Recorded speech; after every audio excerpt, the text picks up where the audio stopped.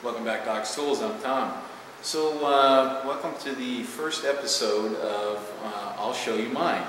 So, um, this is going to be a, uh, series of relatively short videos where um, I bring out a, a, tool that I have and uh, either take it apart or talk about it or show how it's put together uh, and we just have kind of a general discussion about it. So, um, what I thought we'd do for the first episode is uh, I have this little, and you guys have probably seen this before, this little four inch rotary table that I made uh, quite a while ago.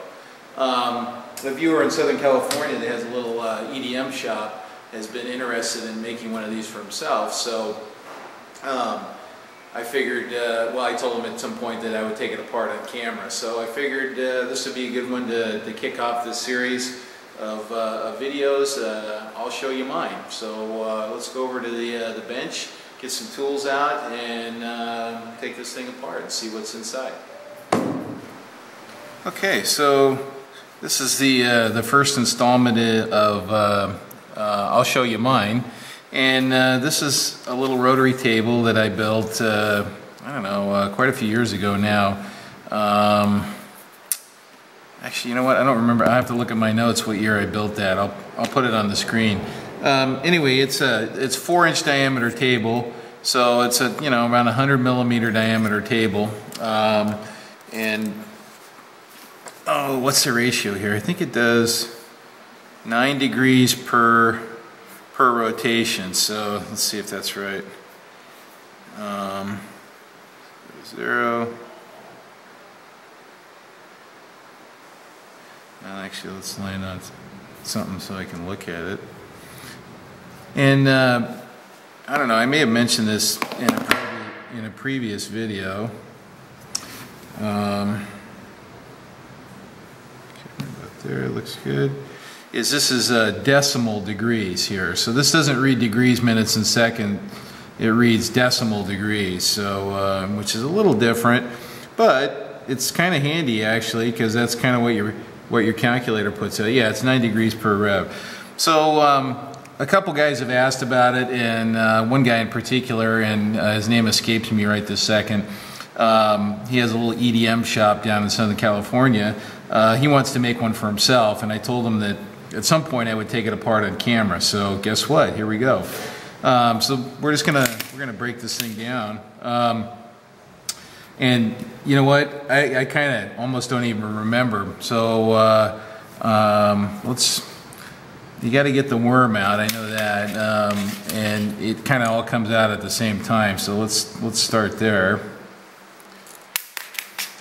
This has got a little a little bushing in it.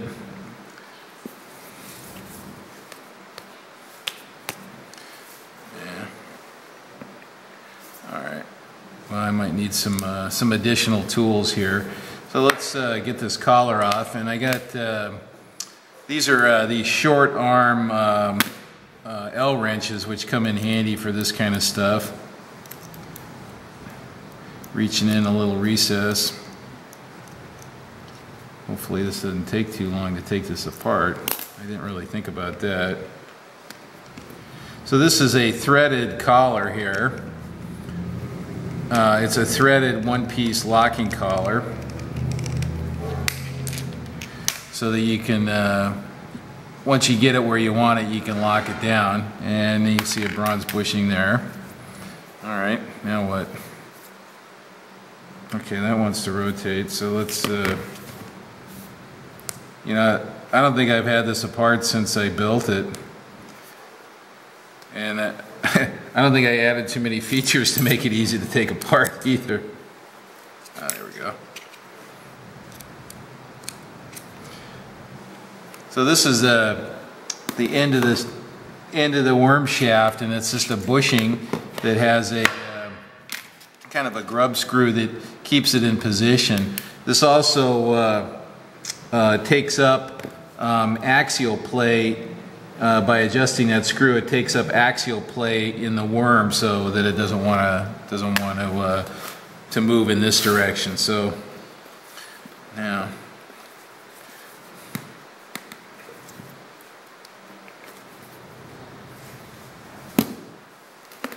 like I said, I I don't remember uh, quite how this comes apart.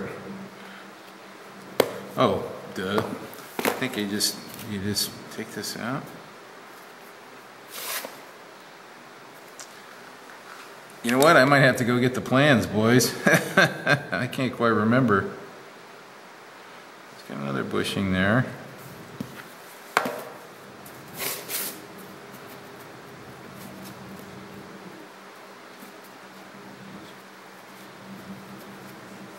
Huh. All right. No visible means of support. oh, brilliant. Okay, you guys are gonna love this. Uh, it took me about a half an hour to figure out how I put this dang thing together. So I got it apart off camera and then I put it back together so I can just kind of go through the whole sequence. I had to get my uh, I had to get my notebook out that had my notes on uh, uh, on some of this stuff, and uh, you know I have to say that uh, my docu documentation was less than perfect here on this. So I built this in 1997, uh, uh, according to this, and it looks pretty close actually from what I'm seeing, but there's just a couple little details missing, in particular with this knob here uh, that uh, didn't clue me in as to how I put it together. Anyway, let's uh, let's go through it real quick and uh, and take it apart. And um, so you know we're back where uh, I started the video here. Okay, all right. Now I didn't tighten up this uh, this lock collar here, so we're just going to go ahead and we'll just take that off like we did before. Yeah, I think I was way too clever for my britches back then, so it's like, how the hell did you do that?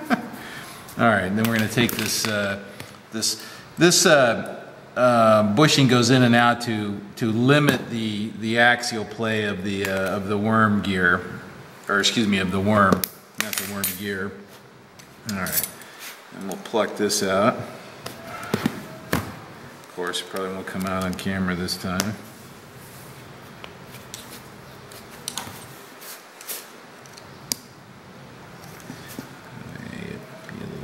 Bastard. Alright, it's moving. This is a, a key thing. You got to get this dang thing out of here. It came out before. And I can't take it apart uh, unless I get that out of there. Like I said, I... Uh. Should have put a little a little feature on that that I could hook the thing. But I didn't.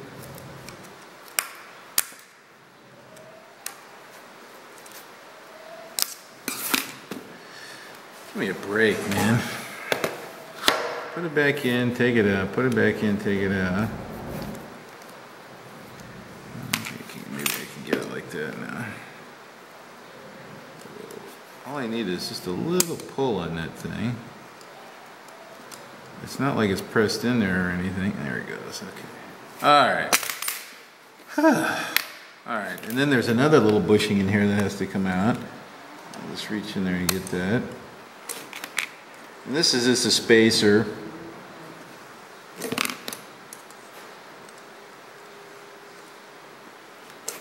There we go.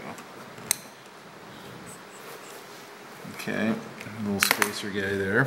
Okay, now we can actually take the uh, um, we can take the table off. And the way we do that is we actually just kind of deflect the shaft sideways to disengage the worm and then that comes out, okay? And we'll take a look at the inside here. So here's the worm gear, there's the worm, and you can see there's a bronze bushing in the bottom there. And the main the main table bushing is, uh, this is made out of Delrin here, and uh, I'll go ahead and just pop that up gently.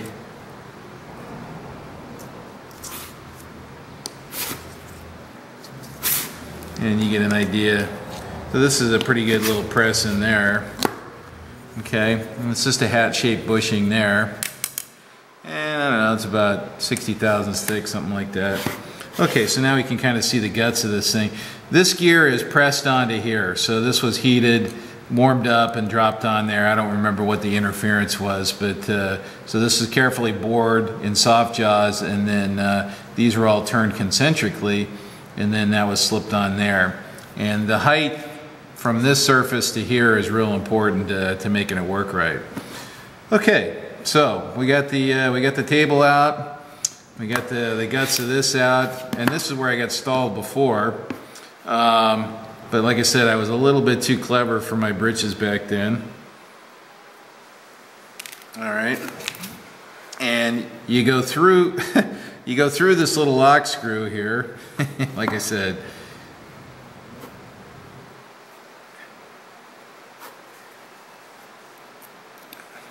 Through this little, yeah, somewhere in there it is. There it is. And then there's a set screw in there, back that off.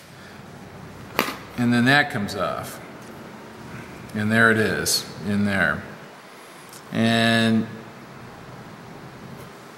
anyway, there's that. And there's the graduated ring. And then you can see how this little bushing's attached here. Okay, and then this shaft comes out with all this business on it. And this uh, worm is pressed on the shaft. Looks like I cross drilled it, but um, I opened it up and there was no cross pin through it. So uh, um, I think it's pressed. I kind of remember pressing that on there and uh, having a, a, long press there, uh, which seems kind of odd. But uh, anyway, there's the guts of the thing, and you can see it. And you know, there's and there's another little bronze bushing there. Okay, and if you take those out, um, this little plug comes out here and um, you know you could make that out of a different material for contrast or whatever you wanted there. And it's got some old stinky oil on it. It's it smells old like a uh, um, you know like an old garage uh, full of funny oil so um, anyway the housing's aluminum um, anodized aluminum, clear anodized. These are uh, these look like beryllium copper to me. Uh, nice hard uh, um, copper alloy, uh, and I was using a fair amount of it back then. Uh, you know, they make injection molds out of it and stuff like that. Um, and then uh, the table, in my notes it says the table's aluminum, but this is stainless steel here. And I think I probably went looking for a piece of uh, aluminum and didn't have it, so uh, went with the stainless steel there. So anyway, there it is, guys, and uh, um, that's the first episode of uh, I'll show you mine. So um, if you got any questions, uh, throw them up in the comments. And uh, I hope you like that. I, I got a little frustrated there for a minute. You know, I was like, how the hell did he put this thing together? So Anyway, uh, it's been a long time. So that was 1997 I built that. Thanks for watching.